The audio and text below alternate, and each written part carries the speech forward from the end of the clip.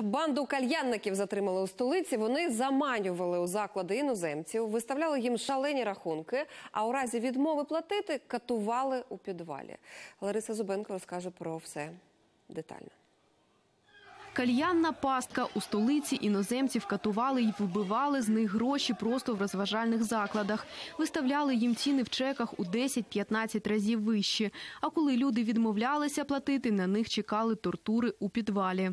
Іноземці, які потрапляли до цих е, закладів, їм надавались рахунки, від, і на яких були суми від 30 до 150 тисяч гривень. А під час обшуку, як вже і казав пан прокурор, що було знайдений знайдений рахунок і близько 520 тисяч гривень. Організатор оборудок громадянин Росії, кажуть у поліції. Його розшукують за фінансові махінації на його ж батьківщині. В Україні орудував зі спільниками. Їх правоохоронці нарахували аж дев'ятеро. Серед них і таксист, і дівчата із сайтів знайомств, і офіціанти.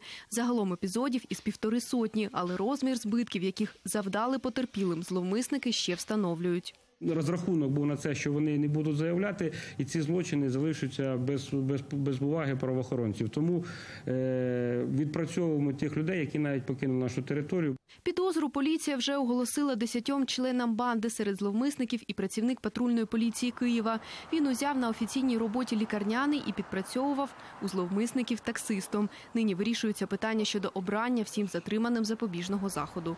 Лариса Зубенко, Олег Невідомський, подробиці, телеканал Інтер.